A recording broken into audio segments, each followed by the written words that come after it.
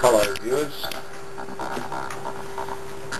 Today I'm demonstrating the motor speed controller, uh, pulse width modulated MOSFET circuitry.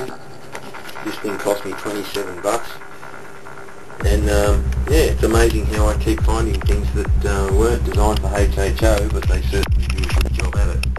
Here's your schematic diagram for all of you uh, diehards out there. See we're making a fair bit of gas at half an amp. I can fiddle with this little trim pot here. Turn the amps up.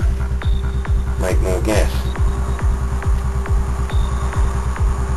That's more gas than I've ever had this cell make.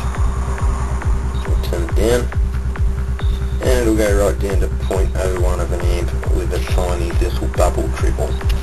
So there you have it folks. Motor speed controller.